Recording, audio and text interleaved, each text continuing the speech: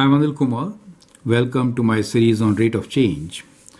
We are taking many application questions. Here is question number three. A spherical balloon is being inflated. Find the rate of change of the volume with respect to the radius when the radius is 10 centimeter. Use difference quotient method. You need to know some formulas here. So first is the volume itself of sphere, which is 4 by 3 pi r cube, right? Now we can use this formula. We know radius 10. We need to find instantaneous rate of change when radius is 10. So uh, instantaneous rate of change using difference quotient method. So using difference quotient method, it is f of x plus h minus f of x. So that is the difference in the y values and difference in the x values will be x plus h minus x which is h. And this is always applied when h is very very small as compared to 1. Now in our case uh, radius is given to us as 10 we'll substitute this value later right? So we'll just find a general expression right? So we can write this as uh, the function as uh, 4 by 3 pi so radius in this case is the variable. So we can write this as r plus h, right? So r plus h whole cube minus 4 by 3 pi r cube over h. Now you see 4 by 3 pi is a common factor. So we can always take this as common. So we can write this as 4 by 3 uh, pi over h, right? So that becomes a common factor. Here, let us expand r plus h whole cube, right? So a, you should know this expansion also. Uh, let me write down here.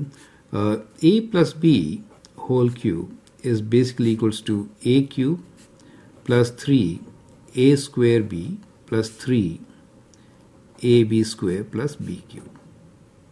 So we're going to use this particular formula to expand. So we have r cube plus 3 r square h plus 3 r h square plus h cube. Right? And here we are left with r cube minus r cube. Correct. So that gives you 4 by 3 pi over h. Now here you can see r cube and r cube will cancel.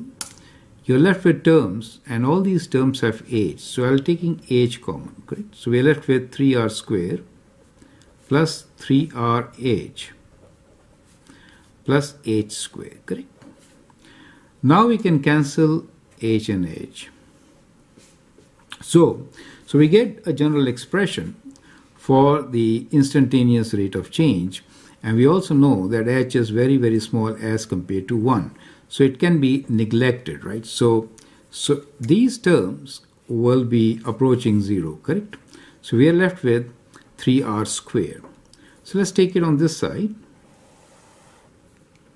We'll write this equation that instantaneous rate of change is equals to 4 by 3 pi h have cancelled and we have here 3 r square. So 3 and 3 will also cancel.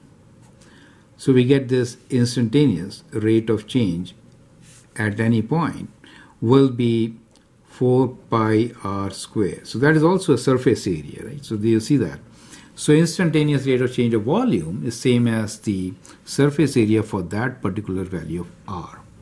Now we need to find this as r equals to 10. So we can say instantaneous rate of change at r equals to 10 will be 4 pi times 10 square or is equals to 400 pi unit square, right?